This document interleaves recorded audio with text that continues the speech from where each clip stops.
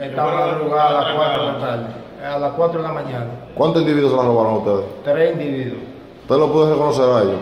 No, Ya están apresados. sí señor. Eh, ¿Cuántas vacas son? Cinco, es una recién parida. ¿Y ¿Cuándo, fue? ¿Cuándo recuperaron la vaca? Esta mañana a las 4 de la mañana. Esta mañana, a las 4 de la mañana.